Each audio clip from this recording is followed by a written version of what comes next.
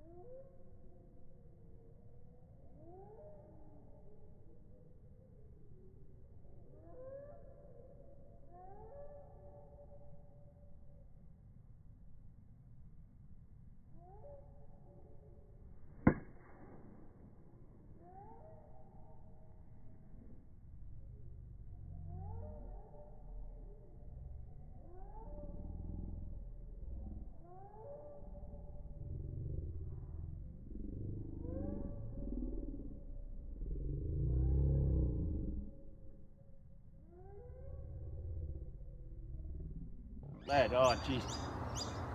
Yeah, right.